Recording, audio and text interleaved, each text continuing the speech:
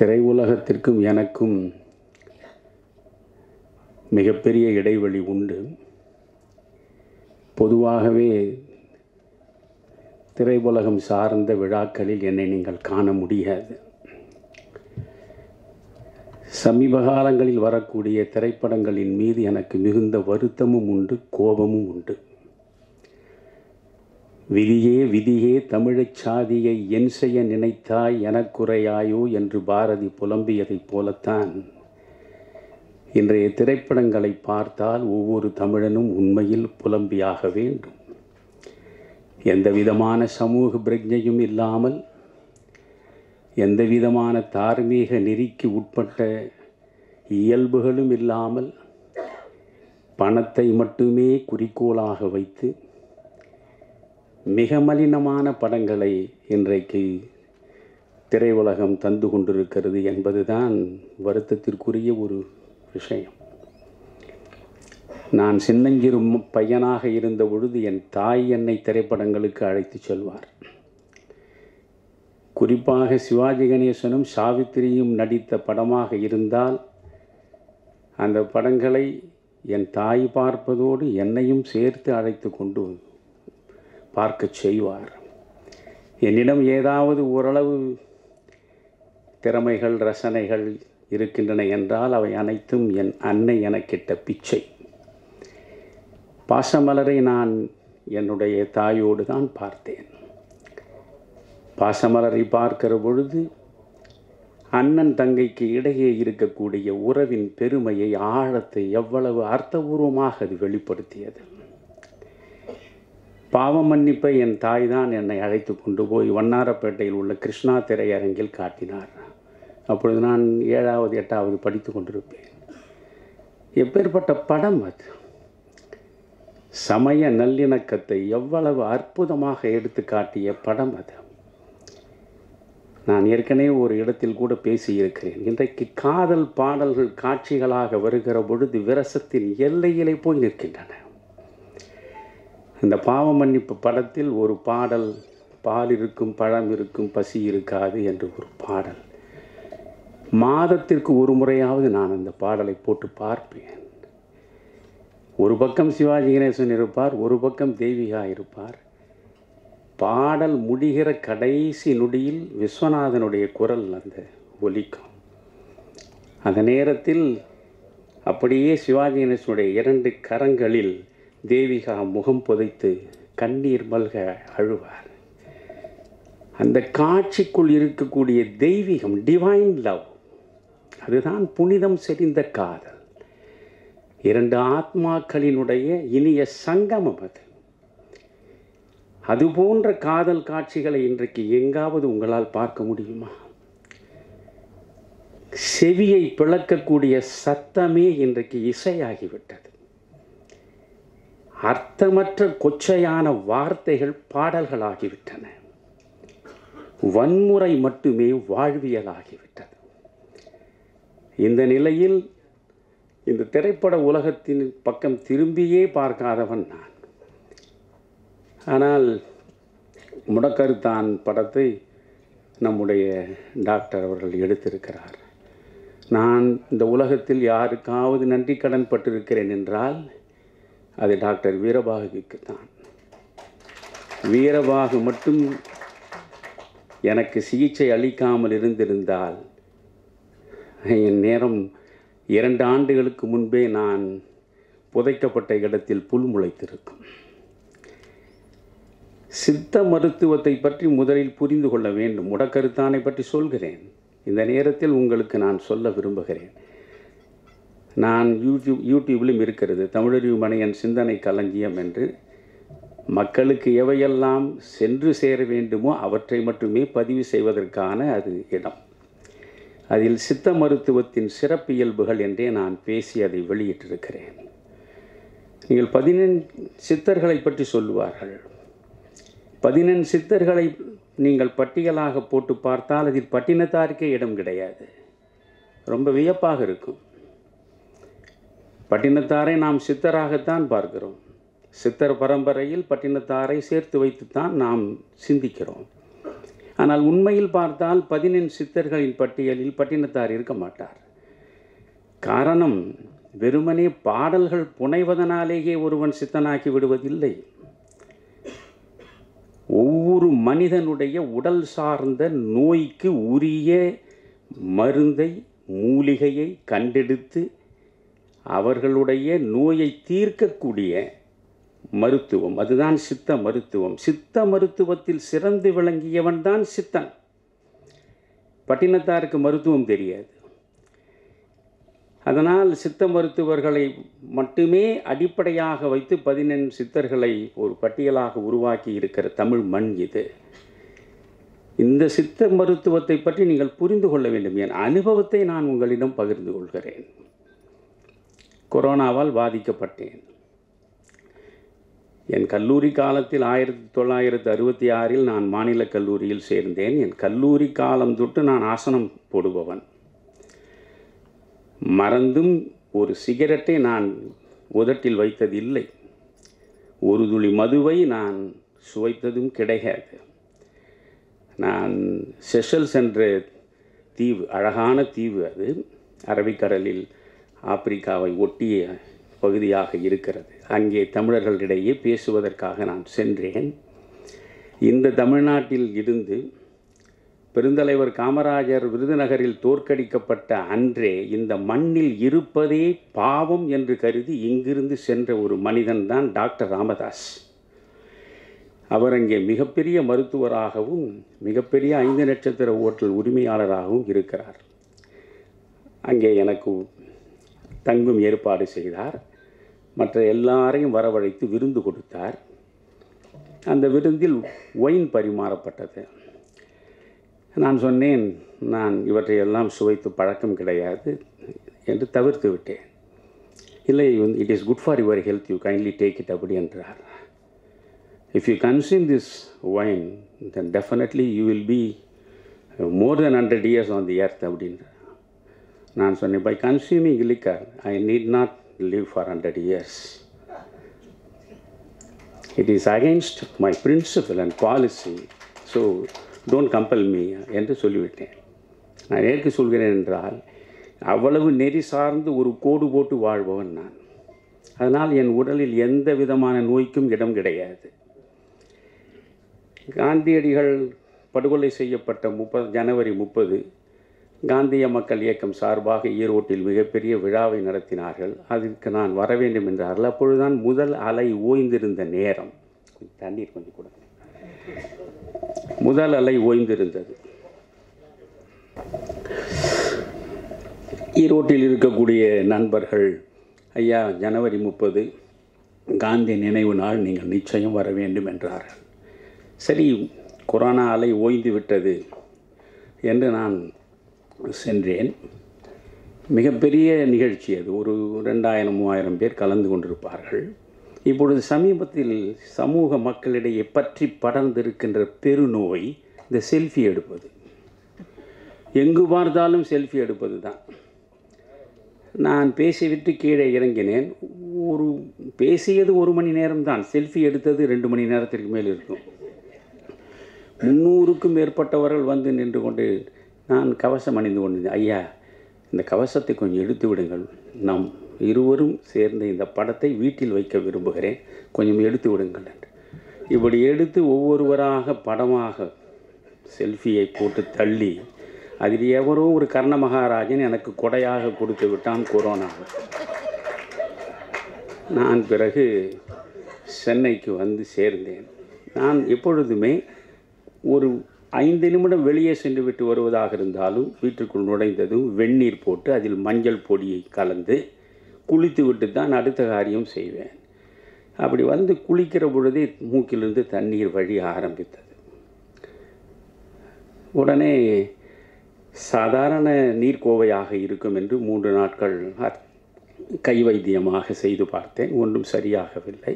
உள்ளே கொரோனா பற்றி இருக்கிறது. அதற்கு பிறகு கொரோனா அந்த டெஸ்ட் இது என்னமோ விசிபிஆர் ஆர்பிசி என்னென்னமோ சொல்கிறார் அல்லவா? அதை போய் எடுத்தால் உங்களுக்கு பாசிட்டிவ் என்று சொன்னான் என்னிடம் ஒரு பா ஒரு காசும் கிடையாது.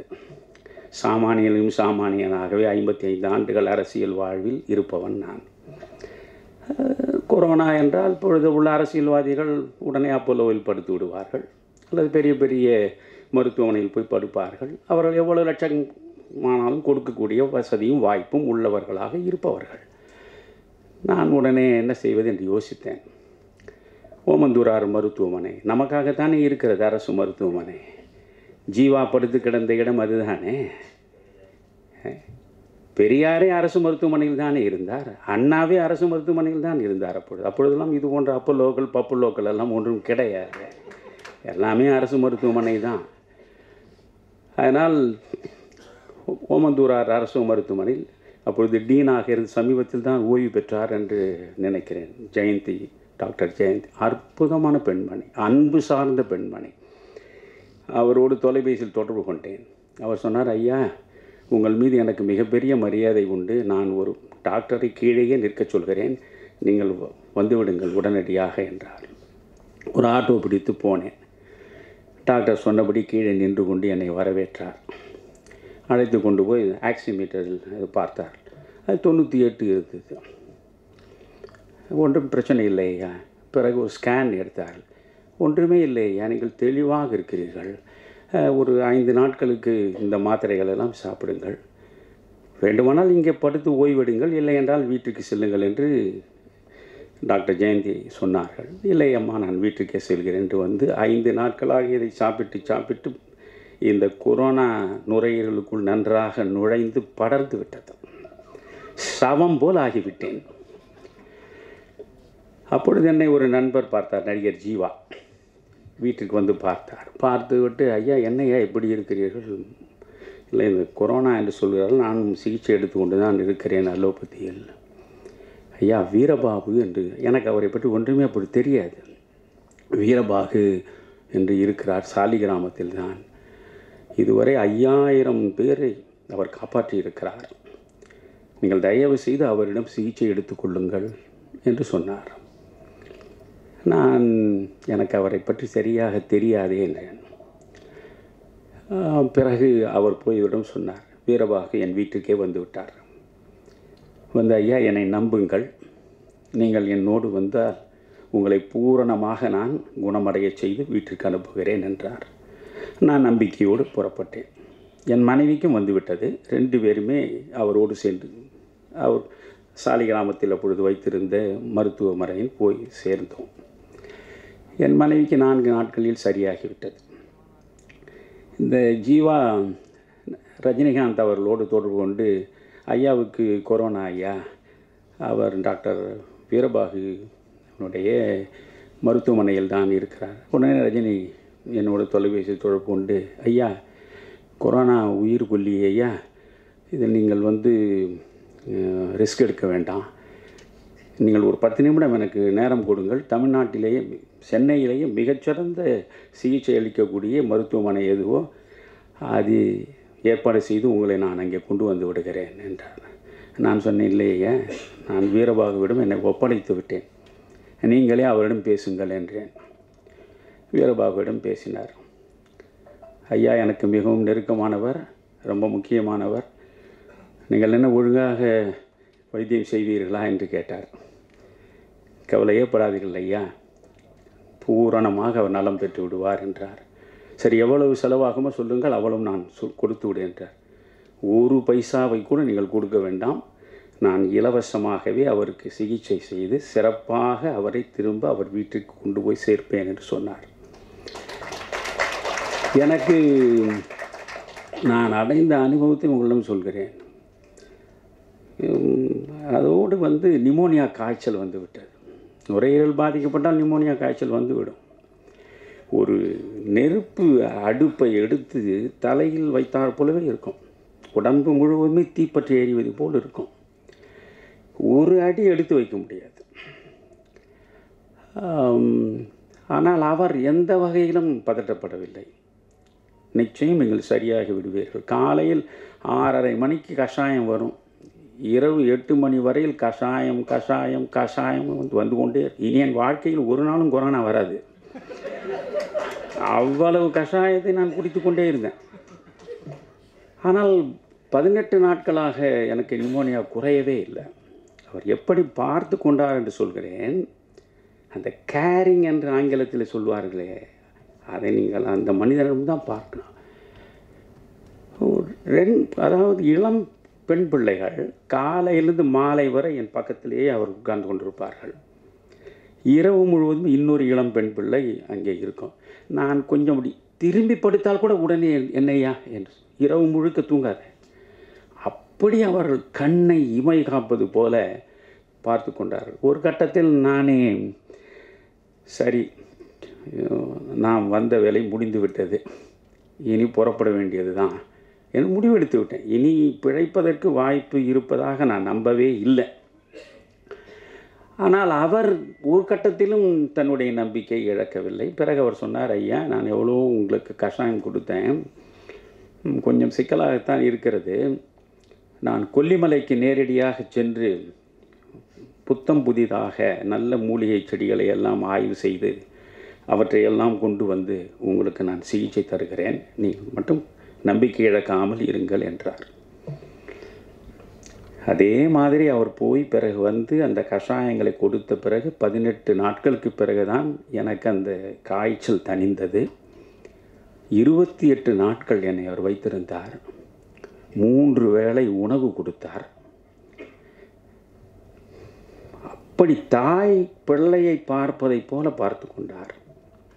அந்த நேரத்தில் ஒவ்வொரு நாளும் காலையில் என்னை வந்து சந்திப்பார். ரொம்ப அற்புதமாக அவருடைய உடை உடுத்துவதை நான் பார்த்தேன். டாக்டர் உங்களுக்கு ட்ரெஸ் சென்ஸ் ரொம்ப சிறப்பாக இருக்கிறது. என்னை பொறுத்தவரையிலும் ராமகிருஷ்ண ஹெக்டே தான் இந்தியாவிலேயே மிகச்சிறப்பாக ஆடை அணியக்கூடியவர் என்று சொல்வார்கள் நான் அவரோடு மிக நெருக்கமாக பழகியவன். ஆனால் உங்களை பார்த்தால் நீங்கள் உடுத்துற உடை அந்த வருகிற நடை நீங்கள் ஒரு சினிமா நடிகர் போல் இருக்கிறீர்களே என்று தப்பி தவறி சொல்லிவிட்டேன் உடனே அவர் சொன்னார் ஐயா நான் உண்மையிலேயே நடிக்கிறேன் ஐயா. என்னடா இது விபத்து? இவ்வளவு பெரிய மனிதன். வாழ்க்கை முழுவதையும் இந்த மருத்துவ உலகத்திற்கு அர்ப்பணித்து விட்டால் இவரால் எண்ணற்ற உயிர்கள் வாழுமே.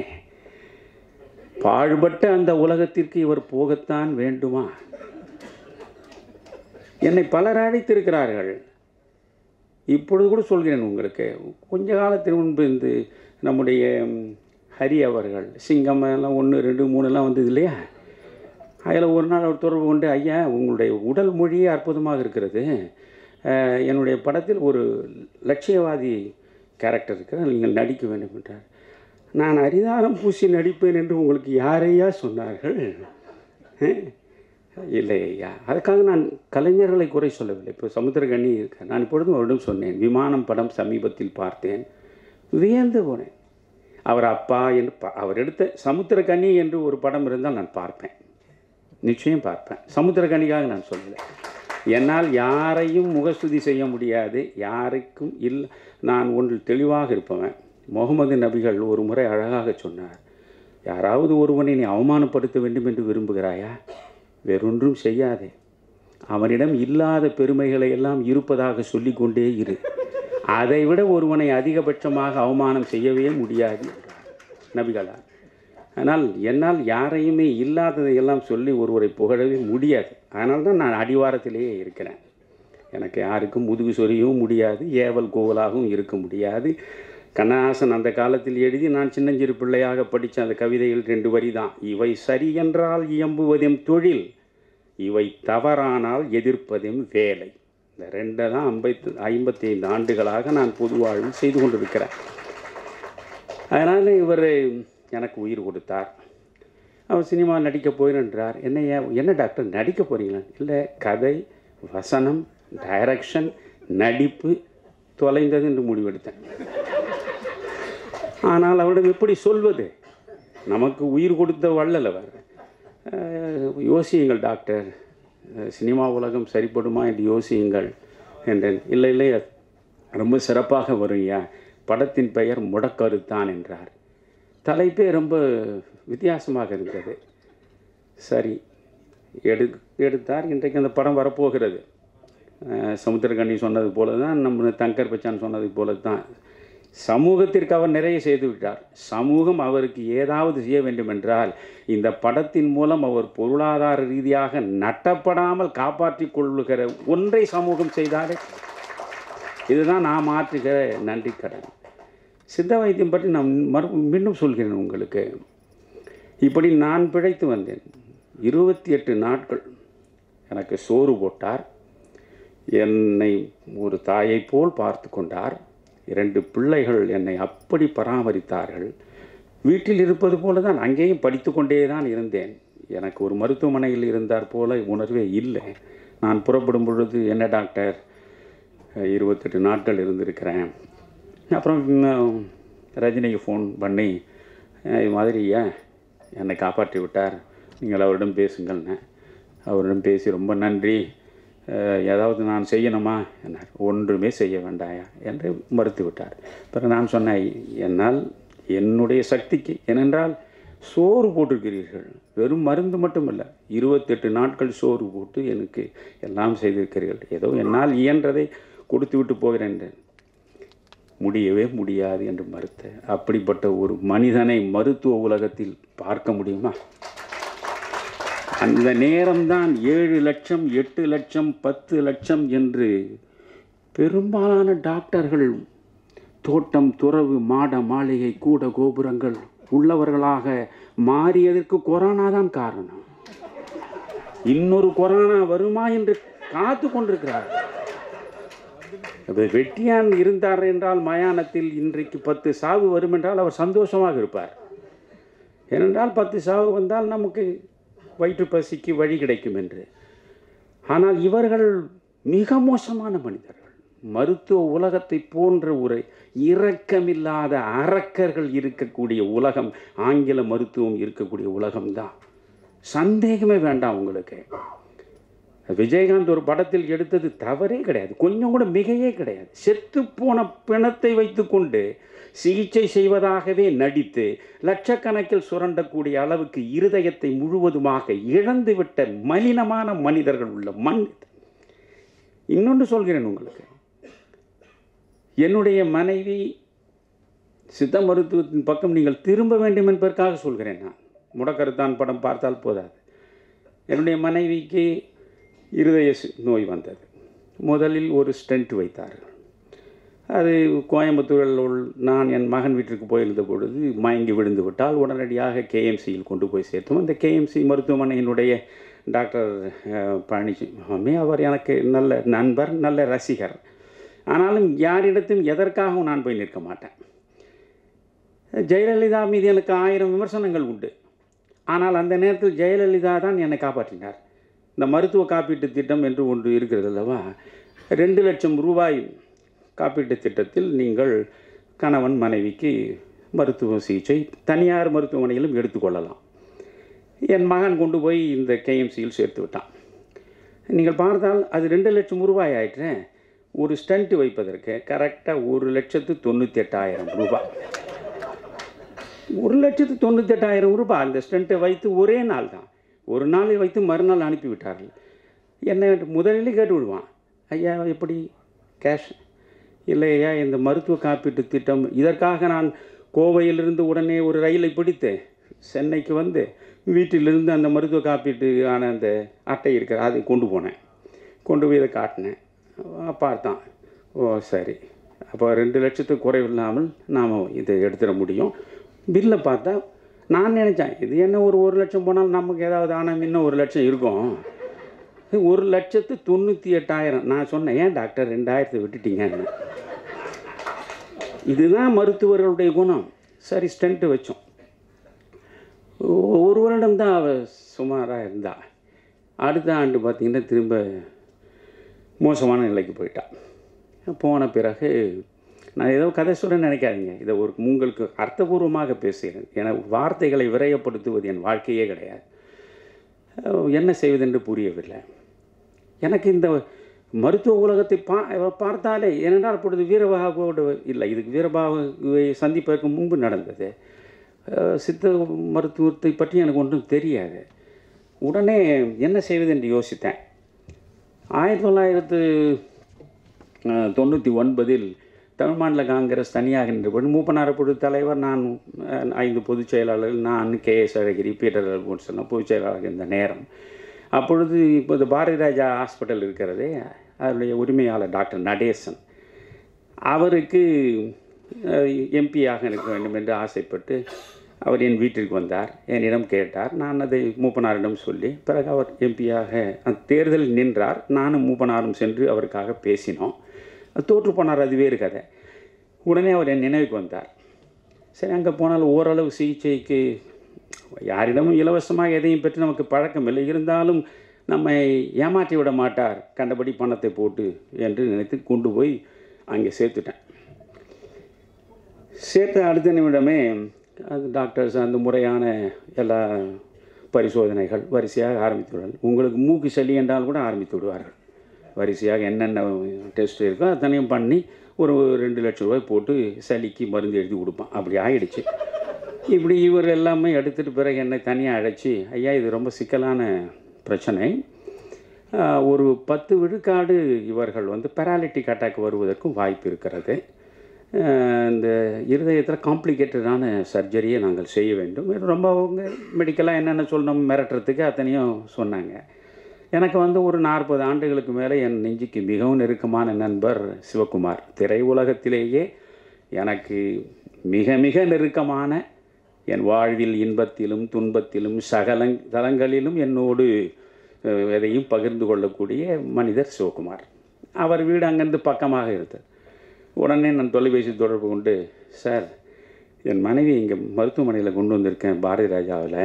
அது ஏதோ ரொம்ப காம்ப்ளிகேட்டட்னு சொல்கிறாங்க அஞ்சு நிமிஷம் இருது வந்துட்டேன் அப்படின்னு உடனே பொருள் வந்தார். அந்த டாக்டர்ஸை பார்த்தாரு. பார்த்து என்ன பிரச்சனைன்னு? இல்லை எதுவுமே காம்ப்ளிகேட்டடாக இருக்கேன் அப்படியா? சரி ஒரு செகண்ட் ஒப்பீனியன் வாங்கலாம்னு நினைக்கிறோம். நீங்கள் இதெல்லாம் கொடுக்குறீங்களா? நீங்கள் என்னென்ன பண்ணியிருக்கீங்களா எல்லாம்? அதுக்கு ஒரு பிரச்சனை இல்லை சார் கொடுத்தாங்க. என்னை அவர் அழைத்து கொண்டு செங்கோட்டு வேலு கொண்ட கொண்டு போனார். அப்போ அப்போலோவில் இருக்கார். அவரிடம் அழைத்து கொண்டு போனால் அவர் பார்த்தாரு இது ரொம்ப சிக்கலாக தான் இருக்குங்க இதை நான் கூட பண்ண முடியாது. கிரிநாத் தான் இதுக்கு இது பண்ணணும் அப்படின்னு சொன்னார். அவர் கிரிநாத் வந்து ரொம்ப ஐம்பதாயிரம் பேருக்கு மேலே செய்தவர். அப்போ அவர் மிகப்பெரிய ஆட்களுக்கு தான் அப்பொழுது அவர் செய்வார்.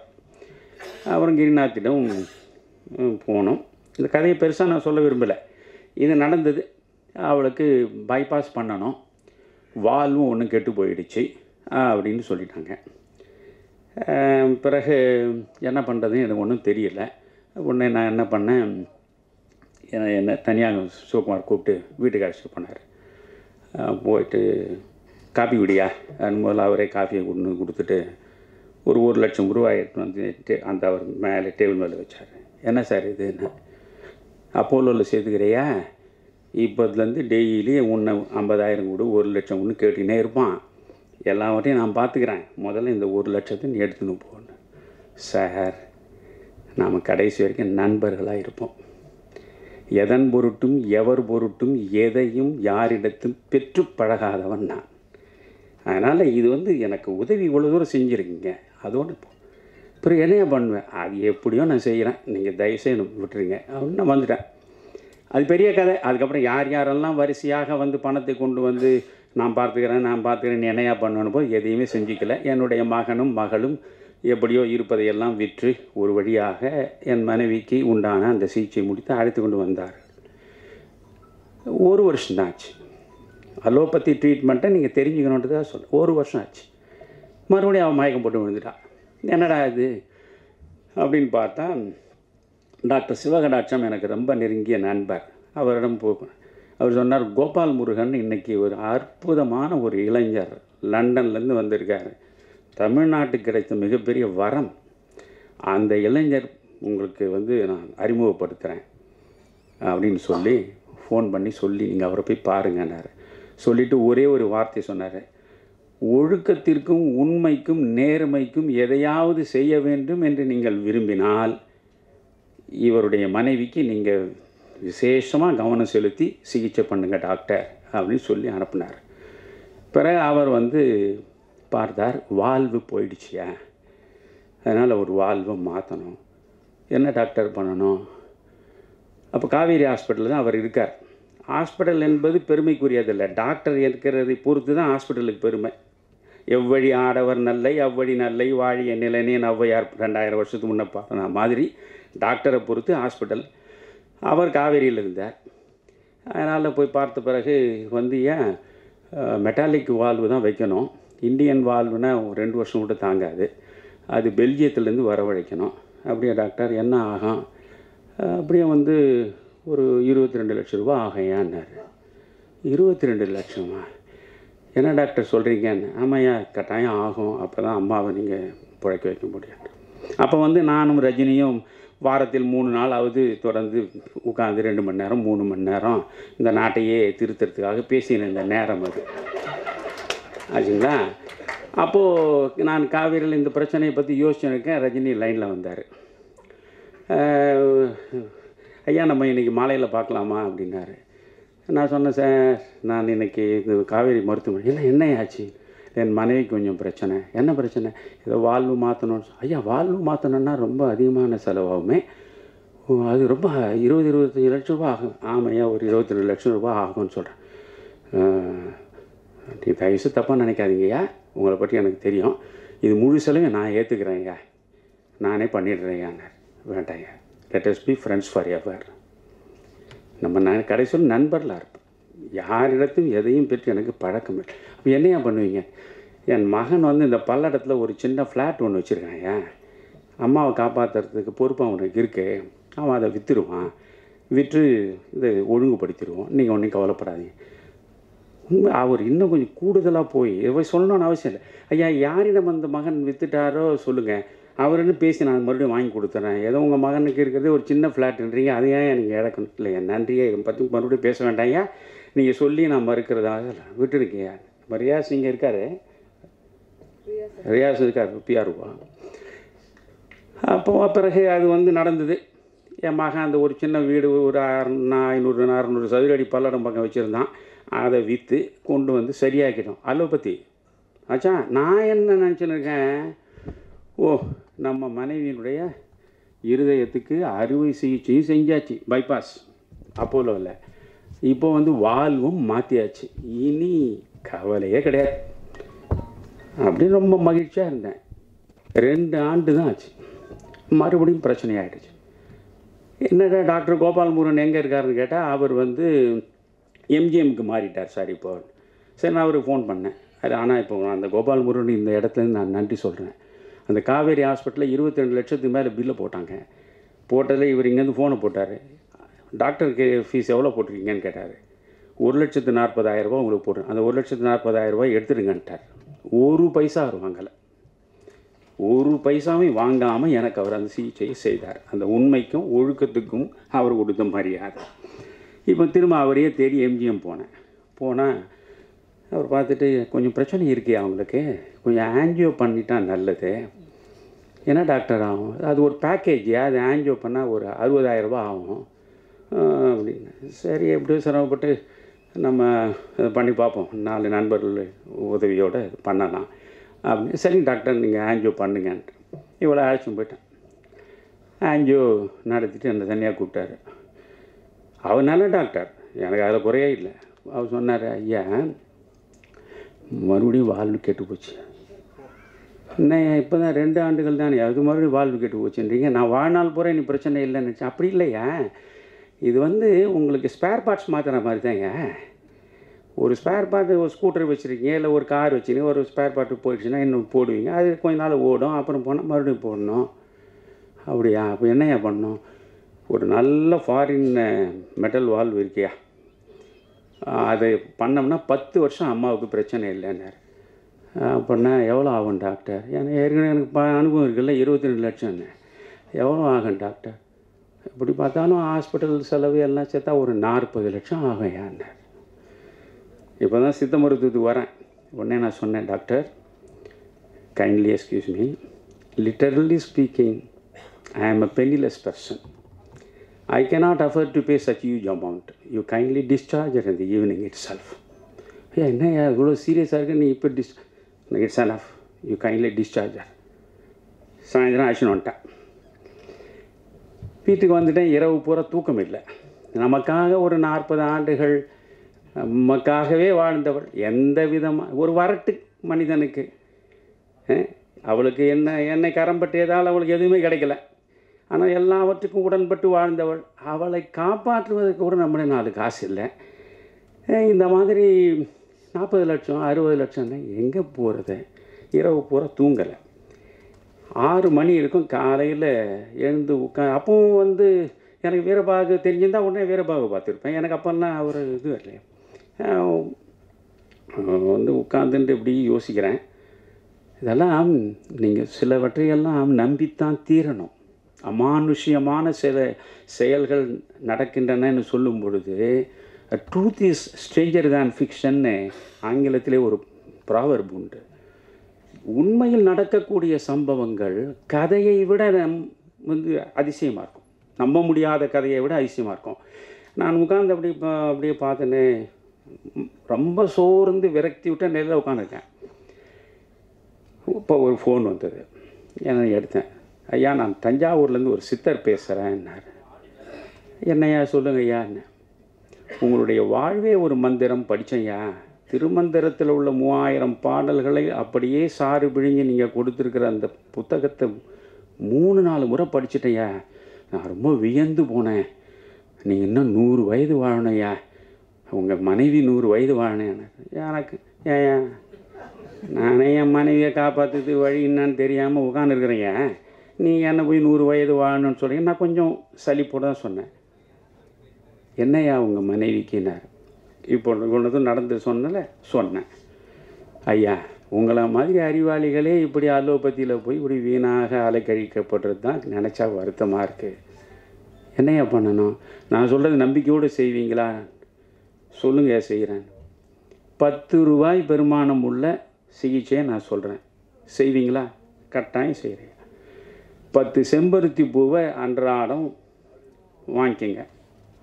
அந்த பத்து செம்பருத்தி பூவை ரெண்டு குவளை தண்ணீரில் போட்டு ஒரு மணி நேரம் ஊற வைங்க. ஊற வச்ச பிறகு ஒரு பத்து மிளகு அதில் போடுங்க.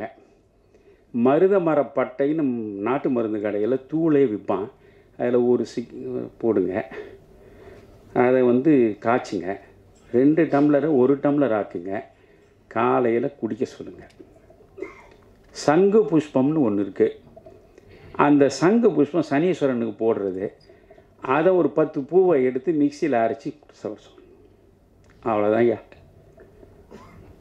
இந்த நிமிஷம் நாற்பது லட்சம் ரூபாயை நான் கொடுத்துருந்தாலும் என்ன ஆயிருக்குன்னு தெரியாது. இப்போ என் மனைவி இது நடந்து ஏறக்குறைய எட்டு ஒன்பது மாதம் ஆகிறது. அவள் படுக்கை விட்டு எழுந்திருக்க மாட்டான் முன்னே. அலோபதியில் லட்சக்கணக்கில் கொடுத்த போதும். இப்போ வீட்டுக்குள்ளேயே அவள் குறைந்தது ஒரு பத்து நிமிடமாவது இங்கே அங்கே நடக்கிற நிலையில் இருக்கா? ஆரோக்கியமாக இருக்கா? இந்த ஆரோக்கியத்தை பத்து ரூபாயில் நான் பெற்றேன். பத்தே பத்து ரூபாயில் இப்போவும் செம்பருத்தி பூ தான் கொடுக்குறேன். அந்த சங்கு புஷ்பம் தான் கொடுக்குறேன். நல்லா இருக்கா?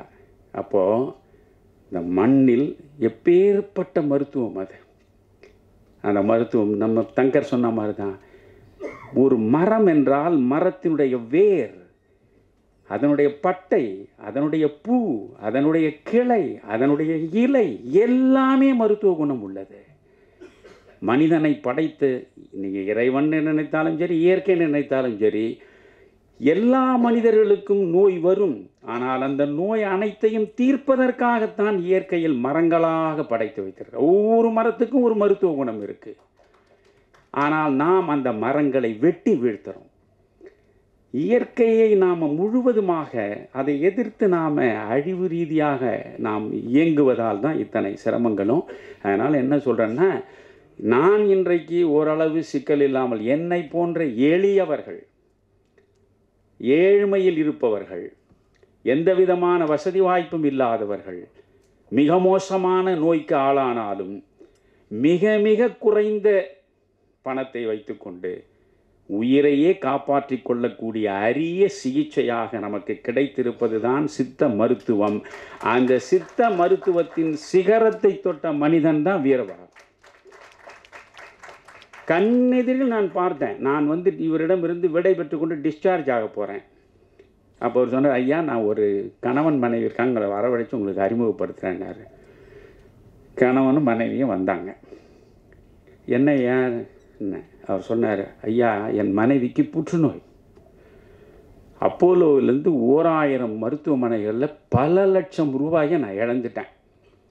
என் மனைவி சொல்கிறா எனக்கு நீங்கள் சிகிச்சை செய்து பூரணமாக புற்றுநோயிலிருந்து விடுவிக்கணும்னு கூட இல்லை. எனக்கு வலி இல்லாமல் கொஞ்ச நாள் சாகிற வரைக்கும் வச்சுருந்தா போதும். அப்படின்னு அவள் போராடுவாயா. ஆனால் வலியோடு தான் அவள் வாழ்க்கை நடக்கு. இதில் ஈரோட்டில் இவரிடம் சிகிச்சை பெற்று பலனடைந்த ஒருவர் சொல்லி நான் இப்பொழுது அப்போலோலேருந்து இடம் மாறி இங்கே வந்திருக்கேன். முந்தா நாள் தான் வந்து சேர்ந்தேன். ரெண்டு நாள் ஆகலையா? அந்த அம்மாவுடைய வலி முழுவதும் போயிடுச்சியாங்க. ஆச்சரியமாக இருக்கு. வ அந்த அம்மாவே கேட்டேன் வலியே இல்லையா? அப்போது தீர்க்க முடியாத நோய்களை கூட தீர்க்கக்கூடிய ஒரு மனிதர். இப்போ சமீபத்தில் எனக்கு ஒரு நெருங்கிய நண்பருடைய மனைவி அவங்க வந்து என்னென்னோ வைத்தியம் பண்ணாங்க. காலெல்லாம் வீங்கி போச்சு கையெல்லாம் வீங்கி போச்சு முகமெல்லாம் இதுவாகி போயிட்டு அப்படி நிமிர முடியல உட்கார முடியல குனிய முடியல. ரொம்ப பயந்துட்டாங்க இந்த அம்மா. கடைசியில் என்னன்னு பார்த்தா ஒரு ஹாஸ்பிட்டல். அந்த ஹாஸ்பிட்டலை கொண்டு போய் ரெண்டே நாளில் நாற்பத்தி மூணாயிரம் ரூபாய் பில்லை போட்டான் அந்த கேட்டேன் நான் போய் சொன்னேன் அம்மா நீங்கள் இந்த ரெண்டு நாளில் என்ன பண்ணி இல்லை வைரல் ஃபீவர்னு சொல்கிறான் ஐயா சொல்லிட்டான்ல முதல்ல க இந்த இடத்த விட்டு புறப்படுங்க. ஏன்னா நான் ஏற்கனவே நிறைய பட்டிருக்கேன் இந்த நாற்பத்தி மூணாயிரத்தோட புறப்படுங்க. இல்லைன்னா உங்களை இப்படியே உட்கார வச்சு ஒரு முப்ப நாலு மாதம் வச்சு ஒரு இருபது லட்ச ரூபா வாங்குவான். அப்படின்னு அழைச்சி வந்து நான் சொல்கிற இடத்துக்கு நீங்கள் வரீங்களா சொல்லுங்க ஐயா நான் டாக்டர் வீரபாகுண்ட உங்களை அழைச்சி போகிறேன் அவங்களையும் அவர் கணவரையும் அழைச்சி போய் விட்டேன். ஒரே வாரம் தான் அந்த அம்மா கம்பீரமாக பழைய நிலையில் எழுந்து நடந்து சிக்கனாவது குனியாவது எல்லாவற்றையும் முடிச்சிட்டார். இப்படிப்பட்ட ஒரு மனிதன் ஆனால் இப்படிப்பட்ட ஒரு உலகத்துக்கு வந்திருக்கார். அதுதான் எனக்கு என்னென்ன திரைப்படங்கள் மேலேயோ நடிகர்கள் மேலேயும் எனக்கு ஒன்றும் கோவம் இல்லை. அப்படி கோவம் தான் நான் ஏன் ரஜினிகாந்தோட ரஜினிகாந்தை பயன்படுத்தி அரசியல் மாற்றத்தை பண்ணிட முடியாதான்னு நான் போய் நினைக்கிறேன்னா எப்படி? ஆனால் இன்றைக்கி என்ன? முந்நூறு கோடி நானூறு கோடி போட்டு படம் எடுத்தால் தான் தியேட்டருக்கே போகிறான். இல்லையா? பிரம்மாண்டமான படங்கள் பிரம்மாண்டமான படங்களின் மூலம் என்ன கொடுத்தீங்க? நான் ரஜினியிடமே சொல்லிட்டு வந்தேன். சார் நீங்கள் எத்தனை படம் வேணால் நடிங்க. ஆனால் ஒரு முள்ளும் மலரும் மாதிரி மீண்டும் நடிக்க பாருங்கள் ஒரு ஆறிலிருந்து அறுபது வரை மாதிரி ஒரு படத்தில் நடிக்க பாருங்கள் எங்கேயோ கேட்ட குரல்னு ஒரு படம் நடிச்சிங்களே. அதில் கடைசியில் இந்த அம்பிகாவை வந்து பார்ப்பீங்களே என் கண்ணு முன்னாலே இருக்குது அது மாதிரி படங்க பண்ணுங்க. இதெல்லாம் என்ன காலத்தால் நிற்காது சார்னு சொல்லிட்டு தான் நான் வந்தேன். யோசிச்சு பாருங்கள் இப்போ கமல்ஹாசன் அபூர்வ ச நீங்கள் அபூர்வ ராகங்கள் படங்கள் இப்போ போய் பாருங்கள் ஒன்றுமே இல்லை பாலச்சந்தர் எடுத்த ரஜினியும் கமல்ஹாசன் நடிச்ச அவர்கள் படம் பாருங்கள் இதெல்லாம் என்ன எத்தனாயிரம் கோடி பட்ஜெட்டில் எடுத்த படங்க? ரொம்ப சாதாரண பட்ஜெட்டில் சிறப்பாக எடுத்த படங்கள்லாம் சிறப்பாக நடந்திருக்கு. இந்த விஜயன் நடித்த படங்கள்லேயே இந்த பூவே உனக்காக காதலுக்கு மரியாதை இந்த படங்களை பார்த்து அதுக்கு பிறகு தானே ஒரு பெரிய ஸ்டார் ஆனார். ஆனால் அந்த படம் தான் நிற்கும் இதெல்லாம் எப்படி நிற்கும் சம்மட்டி எடுத்து மண்டையே அடித்து பொழக்கிற மாதிரி. இதில் கூட அந்த காட்சியை காட்டினார். வீரபாகுக்கு ஏன் இது மாதிரி ஆனார்? நான் ஏற்கனவே ஒரு படத்தை ரொம்ப வற்புறுத்தி காட்டினானுங்க. அதில் ஒரே அடி சம்மட்டியில் மண்டையை பொழக்கு. இப்படிலாம் பண்ணக்கூடாதுயா? இப்படிலாம் பண்ணக்கூடாது. சினிமா என்பது நான் என்ன சொல் இதோட சொல்லி முடிச்சிடுறேன். எனக்கு இந்த இந்த சினிமா மேலே எனக்கு மிகப்பெரிய ஈடுபாடு உண்டு. கோபம் அதனால தான் இருக்கு எனக்கு. ஐயா எழுத்து படித்தவனை மட்டும்தான் போய் பாதிக்கும். படிக்காத பாமரண்டமும் சென்று சேர்ந்து பாதிப்பை உருவாக்கக்கூடிய ஆற்றல் மிக்க ஒரு ஊடகம் உலகத்தில் உண்டென்றால் அது சினிமா ஒன்றுதான். எழுத்தறிவே இல்லாத பாமரன் அவனை போய் பாதிக்கும். அதை முறையாக பயன்படுத்தி முதலமைச்சர் நாற்காலியில் வந்து சேர்ந்த மனிதன் எம்ஜிஆர். யோசிங்க ஒரு பாட்டு சி- தமிழ்நாடு கூட கொண்டு போச்சு. அச்சம் என்பது மடமையடா அஞ்சாமை திராவிடர் உடமையடா ஆறிலும் சாவு நூறிலும் சாவு அந்த ஒரு பாட்டு கிராமம் வரைக்கும் திமுகவை கொண்டு போய் சேர்த்தது. இன்னைக்கு என்ன பாட்டா வருது? முக்களும் முனகலும் நீ லவ்வரியா நான் லவ்வரனான்னு ஒரு பாட்டு பாடுறான். என்னதான் எழுதுறீங்க கேட்டா கண்ணதாசன் எழுதும்போது ஒரு பாட்டுக்கு அதிகபட்சம் வாங்கியது ஐயாயிரம் ரூபாய் தான். இப்போ எந்த கிறுக்களுக்கும் லட்சம் ரூபாய்க்கு மேலே தான் கே- பாட்டு எழுதுகிறோம் என்ன பண்ணுறீங்க உங்களுக்கு சமூக பொறுப்பே கிடையாதா? இந்த சமூகம் சார்ந்த ஒரு சிந்தனையே உங்களுக்கு இல்லை என்றால் நீங்கள் என்ன மனிதர்கள் என்று கேட்கிறேன். எப்படியாவது பணத்தை சம்பாதிப்பது தான் உங்கள் வாழ்வின் மிகப்பெரிய நோக்கம் என்றால் இதை விட வேறு தொழில் செய்து நீங்கள் நன்றாக வாழலாம் என்பதுதான் என்னுடைய அபிப்பிராயம். பணம் என்பது என்னையா அதுக்கு ஒரு மரியாதையே கிடையாது. அது அயோக்கியரிடம் இருக்கும் யோகியரிடம் இருக்கும். பிறகு என்ன? யோகியரிடம் மட்டும்தான் பணம் இருக்கும் என்றால் பணம் தொழுகைக்குரியது. ஆனால் அந்த பணம் எல்லா அயோக்கியர்கள் கையிலும் இருக்கும் என்ற போது அதற்கு என்ன மரியாதை என்கிறேன்? ஒரு கட்டம் வரைக்கு தானே பணம்? உன்னுடைய அடிப்படை தேவைகளை நிறைவு செய்கிற வரையில் தான் அது பணம். உன் தேவைகளை நிறைவேற்றிவிட்ட பிறகு அது வெற்று காகிதம். அந்த காகிதத்தை என்ன செய்யணும் நீங்கள் நான் வந்து எனக்கு வீடு வேணும் கிடைச்சிருச்சு. கார் வேணும் கிடைச்சிருச்சு. என்னென்ன வசதி வேணும்? எல்லாம் கிடைச்சிருச்சு. அது வரைக்கும் அது பணம். அதற்கு மேலே எனக்கு எந்த புதிதாக தேவை இல்லை என்றால் என்னிடம் இருப்பது வெற்று காகிதம். அந்த காகிதத்தை மீண்டும் பணமாக்க வேண்டும் என்றால் இல்லாதவனுக்கு கொடுக்கிற போதுதான் அந்த காகிதம் மறுபடியும் பணமாகும். எனவே எங்கே ஏழை எங்கே அனாதை எங்கே அகதி எங்கே நோயுற்றவன் எங்கே கல்வி அறிவற்று கிடப்பவன் தேடி தேடி கொடுக்க வேண்டும். நான் வீரபாகு இதை சொல்லி நான் முடிச்சிடுறேன். எனக்கு ரொம்ப பிடித்த விஷயம். அவர் வருவார். காலையில் வந்து என்னோட கொஞ்ச நேரம் பேசிட்டு இருப்பார். நான் அந்த மருத்துவமனையில் இருபத்தெட்டு நாள் இருந்தபோது ஒரு நாள் அவர் சொன்னார் வியந்து போனேன். இந்த மனிதனுக்குள்ளே எப்பேற்பட்ட மனிதனை இவர். அவர் முக்கியமான நடிகர்களை பற்றியெல்லாம் அப்படியே பேசிகிட்டே வந்தார். சொன்னார் ஐயா இந்த நடிகர்கள் எல்லாம் நூறு கோடி நூற்றம்பது கோடின்னு வாங்குறாங்களே. வாங்கட்டும். அதனால் ஒன்றும் பிரச்சனை இல்லை. ஒரு படத்துக்கு நூறு கோடி வாங்குற போதே பத்து கோடி ரூபாய் ஏழைகளுக்கு அவர்கள் கல்விக்காக அவர்கள் மருத்துவத்துக்காக இப்படி ஏதாவது ஒரு சமூக பயன் பெறுவதற்கு ஒரு படத்தில் நீ நூறு கோடி வாங்க நூறு கோடியில் தொண்ணூறு கோடியை வைத்துக்கொள். பத்து கோடியை நீ சமூக மக்களின் நலனுக்காக கொடுத்தால் உன்னை உலகம் பாராட்டுமே. அதுதானே ஒரு உன்னதமான வாழ்வாக இருக்க முடியும் என்று சொன்ன வீரபாகு இது போன்ற படங்களில் வெற்றி பெற்றால் வெற்றி பெற்று பெரும் பணத்தை ஈட்டுவதாகவே வைத்துக் கொள்ளுங்கள். அப்படி ஈட்டினால் அவர் சொன்னதை செய்வார். அவர் சித்த மருத்துவத்தில் சாதித்தது போலவே இந்த திரை உலகத்திலும் அவர் சாதித்து வெற்றியாளராக வந்து இந்த சமூகத்திற்கு இயன்ற வரையில் பயன்பட வேண்டும். நன்றி வணக்கம்.